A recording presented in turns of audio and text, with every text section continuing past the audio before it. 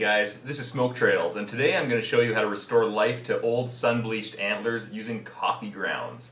Now, you can prepare coffee grounds any way you want. You can get pre-ground coffee grounds. Uh, you can take your coffee grounds right from your filter, uh, from the coffee you had at breakfast. In this case, I'm going to mix it up a little bit, and I'm going to use uh, whole bean coffees, and I'm going to grind them right here. Um, now for this video, I'm going to be using Kicking Horse Coffee 454 horsepower. Um, it's a really, really dark roast. So we're to get some coffee beans into the old magic bullet here. Okay, so we got a nice fine grind coffee. And we'll put it into the bowl. Okay, now you want to add some water not too much water to make the uh, coffee grounds liquidy, but enough to sort of make them a, a paste sort of consistency. Just keep adding water until, you know, it almost starts turning liquidy. Alright, so you got a thick paste of basically coffee grounds and water, and that's the sort of consistency that you want. Now I'm going to put some gloves on to make it a little bit less messy. And before you start rubbing the uh, coffee ground paste in, you want to make sure the antlers are really, really clean. I just uh, cleaned these in the bathtub along with a bunch of other sun-bleached antlers that had been outside for a long time. Um, so you want to get all the dirt out of the cracks. Uh, the best way I found is to just soak them in a tub with, uh, with a bit of uh, soap, uh, dish soap, and let them soak for six or seven hours and then give them a good scrub, let them dry out in the sun and they should be ready to, uh, uh, to put the coffee grounds on. Now I'm just going to basically take a clump of this coffee ground paste and I'll start at the base because you want the base to be darker and the tips of the antlers, the antler tines will be uh, the lightest.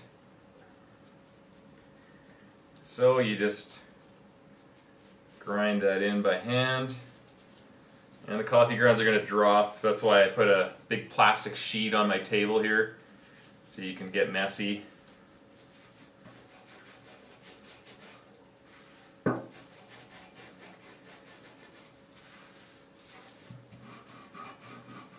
If you don't want to be wasteful, you can just use uh, old coffee grounds from breakfast or, or the last pot of coffee you made.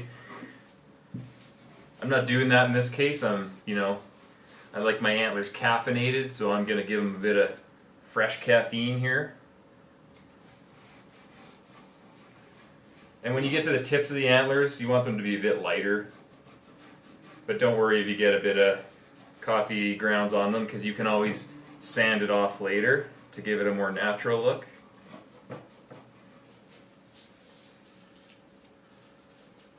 it helps if the coffee grounds are really finely ground so they get into all the cracks in the antler.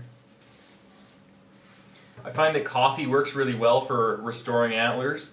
Uh, gives them a really natural look because you know antlers in the wild they get they get brown because deer are uh, rubbing them up against saplings and trees and bark uh, and dirt and uh, all those materials are getting onto the antler uh, and when you use coffee, it's sort of like a simulated sort of dirt mud texture.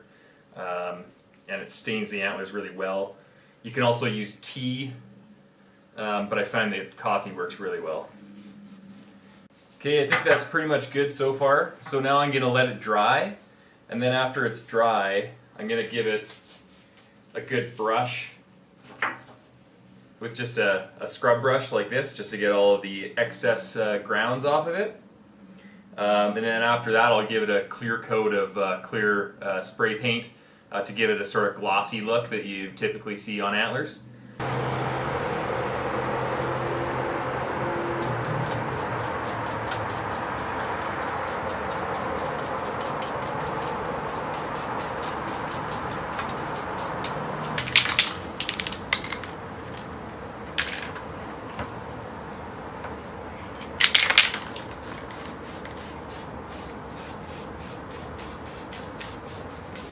Alright, now these antlers are good to go.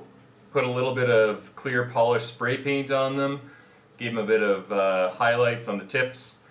Um, looks a lot better than it was, that's for sure. Uh, no more sun bleach except on the skull. Uh, so now you can use the antlers for whatever you want. You can mount them on your wall, uh, make knives out of them, candlestick holders, antler chandeliers, whatever kids are doing with antlers these days. Um, pretty much looks as good as new.